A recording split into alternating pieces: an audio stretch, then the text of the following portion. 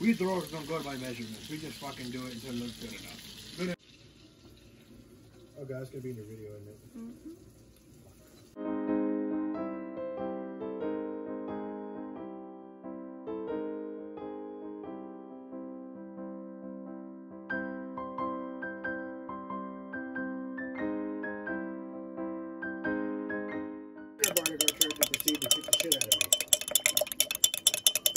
funny because he didn't see my fucking crocodile coming up from behind him to bite him in the ass.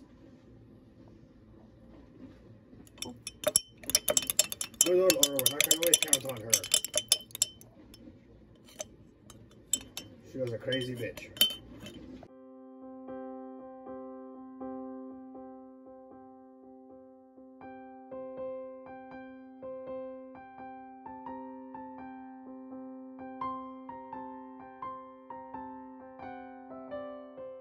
Fucking disaster or you don't? What do you want?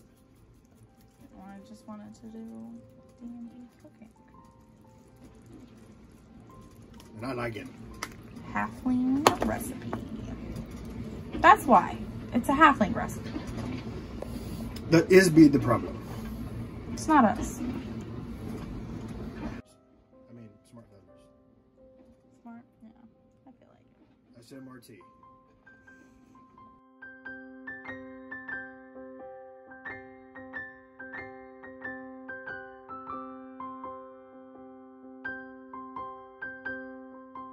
Having a ham and it worked out because we ended up using my new book out of it and we're serving it with bread, um, the pineapple gravy that it came with and peas and mac and cheese.